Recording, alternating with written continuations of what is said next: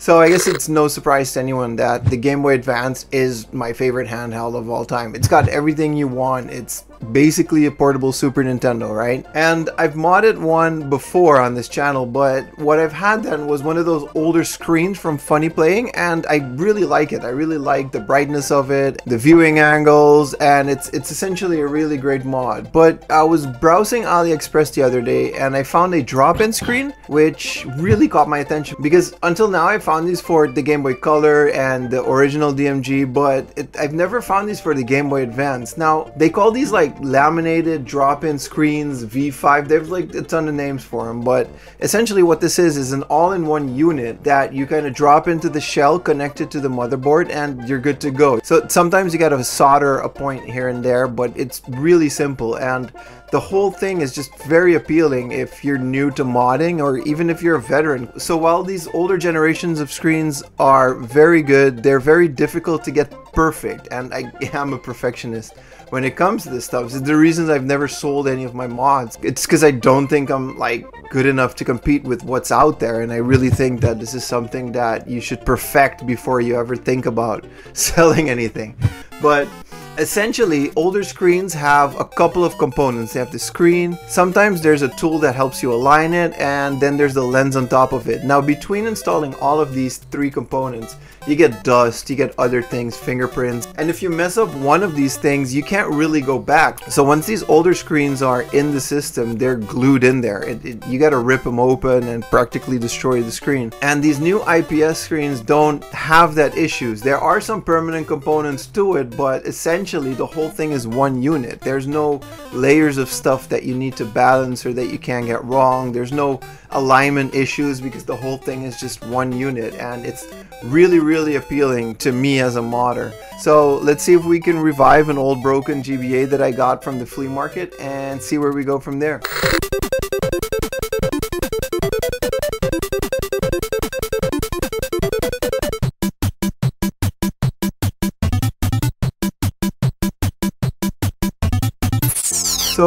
Here we go. I actually got this Game Boy Advance from the flea market on video. It's a couple videos back. I guess I'll put it in the thing.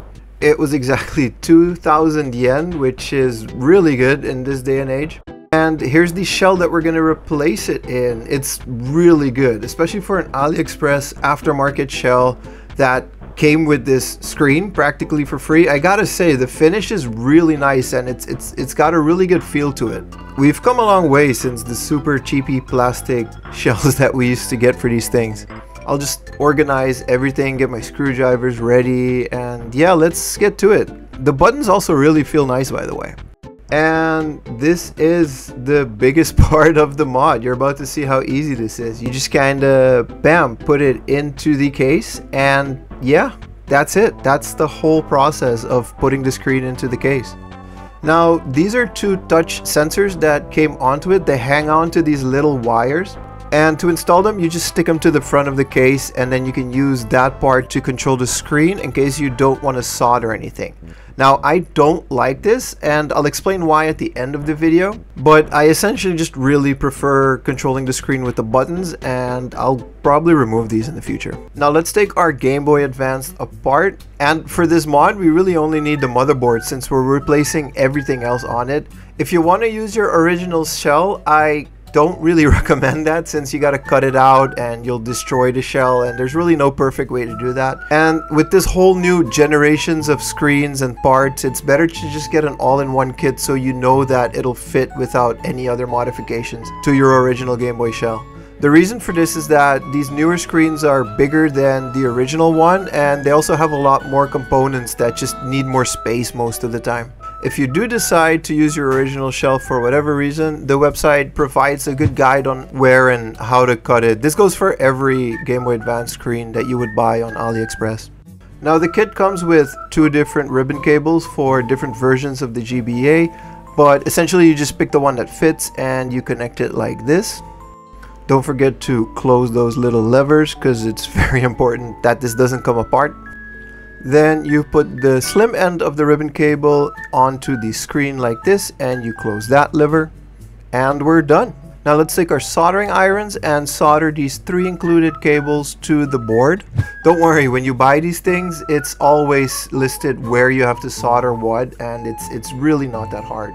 So apologies for the quality, but yeah, soldering and filming at the same time is not that easy, but you just add some solder to the point and then just put the wire on it. Then solder the other end of that wire onto the part marked on the screen. And it might be worth noting that this is probably a better idea to do before you connect the ribbon cable because you might damage it. I Mine turned out okay, but yeah, that, that, that wasn't smart. So following the guides, we just connect the other cables and that's it. It's that simple. Be careful not to lose these cables. They're so thin and tiny that I actually lost mine. So I had to get a replacement here. Luckily I had this on hand, but yeah, something to be careful about.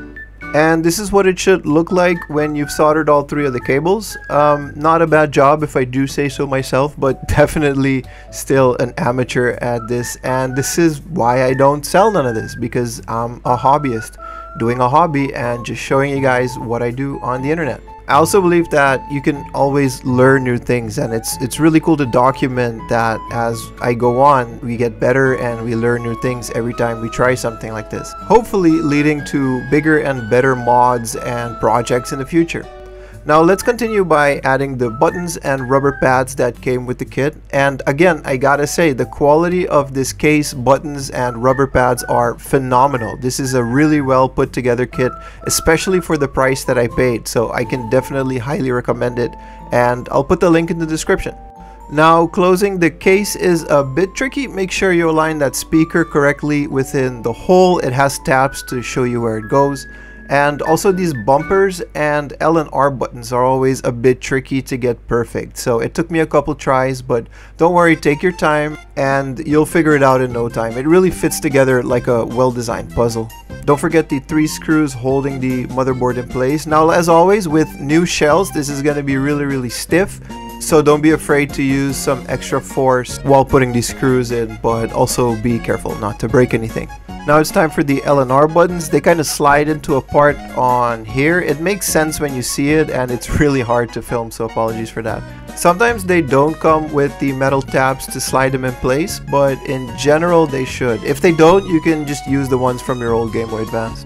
Now let's put the back part of the shell on and again it takes a little bit of puzzling and, and figuring out where everything goes especially with the bumpers and L and R buttons like you can see here but as long as you don't force anything there's really not a lot that can go wrong here. Then let's screw everything together and we're good to go. Now I'm going to use these rechargeable batteries to test it out, but as you'll see in a minute, that's really only for testing purposes. And she's working. As you can see, the light button is completely freaking out. That's because these batteries are just not enough for the screen. The screen uses a lot of batteries. So that's where our second part of the mod will come in. Taken straight out of my other GBA, it's the USB-C lithium ion battery mod from retromodding.com. And this is just an all-in-one drop-in battery that you can use on any Game Boy Advance without any modification to the shell. And yeah, this is amazing. This is uh, really cool. Look how easy that was. I think it's time to uh, take this baby for a spin.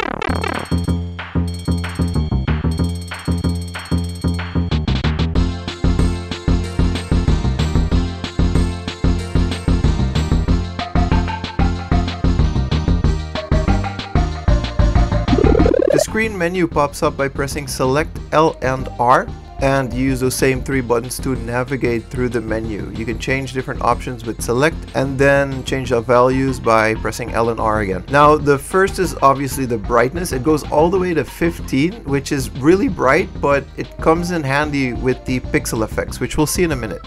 Unless the room is really bright, I think the middle brightness is more than enough. Then we have different color modes and you can even set it to black and white so if that's how you want to play your Game Boy Advance games, go ahead. I think this is more for normal Game Boy games. Now the next option is the pixel effects and this is really where the screen shines. So I did my best to zoom in to show you exactly what happens when you turn these effects on because it's really difficult to show on camera. Here's the normal gameplay with zero pixel effects. And here's Pixel Effect 1. It emulates the Game Boy's LCD screen and it looks really good. It does make the image a lot darker, so I ended up just turning the brightness all the way up when using this. The second pixel effect was a vertical scan line, which kind of reminded me of my Trinitron's Aperture Grille. It's fun, but I never really found a purpose to use this. Now the third and in my opinion the best pixel effect is the scanline option. Look at this, this is amazing. We've got scanlines on an actual Game Boy. And considering how many Super Nintendo ports are out on the Game Boy Advanced, it just looks so at home. This is Donkey Kong Country 2, I also played Donkey Kong Country 1 and a bunch of other of Super Nintendo ports and it just looks so good. And the last option is a frame blending mode which I haven't found any use for but they say some games look better with it. So yeah, this mod could not have turned out any better. The games look so beautiful on it, the colors really pop out, the screen is super crispy and super vibrant. Now take a look at my other modded GBA. You see that gap in between the lens and the screen? There's some dust particles that are really hard to see on camera, but they're definitely noticeable when you're playing. So depending on your skills as a modder and how much time you spend on it, this screen will just never be 100% perfect. Comparing that to the new screen, you can see there's no gap, there's nothing in between the screen and the glass, and it's just it's just perfectly aligned exactly the way that it should be. Even Game Boy games look really good on this, and they use the color palettes for the Super Game Boy, so it's really an enhanced experience. Of course, Game Boy Color games speak for themselves. I'm still planning on doing a Game Boy Color mod in the future, but until then, this is a great way to experience these games. I'm super happy with how this turned out. Notice how my fingers are on the back of the Game Boy. Now, usually my pinky rests on the bottom of it, and it touches the touchscreen thing from the beginning of the video, which activates the menu and it's a whole mess. So it's really better to just solder those wires in and use the buttons for the menu because it just gives you that much more control over the screen. But yeah, there you have it. Super happy with how this came out and I'm going to be playing this a lot over the weekend. Hope you guys enjoyed the video. Thank you for watching it as always. Hit that like button if you liked the video. Hit that dislike button if you disliked it. And I'll see you guys in the next one. Peace.